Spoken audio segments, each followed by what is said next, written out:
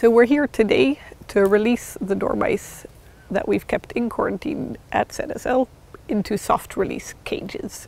It's a release uh, program that has been led by PTES, the People's Trust for Endangered Species, and both uh, ZSL and Paignton Zoo, we keep uh, about 20 dormice each year in quarantine uh, that undergo health examinations and are then released uh, at the release site. So they're being kept in big cages uh, and one male and one female together. They're still being fed and then at the end of the soft release period, the cages are opened, they can go into the woods, but food will still be supplied to them so that they can have some supplementary food if they're still finding it difficult to uh, find food in the wild. So at ZSL, we've been involved with the Dormice uh, release program for many, many years, and our focus is uh, health and disease.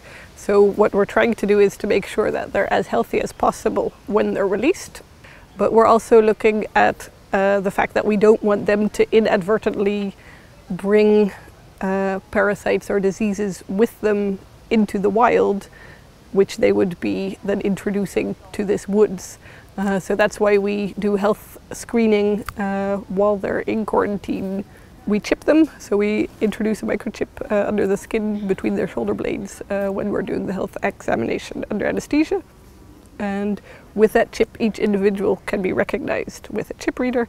So this is a big day for us because it's a culmination of a period of about two months of keeping the dormice in quarantine, doing health examinations, doing stool checks. So it's quite a special day for us because it's the end of a busy period where we've been making sure that the dormice are healthy and fit for release.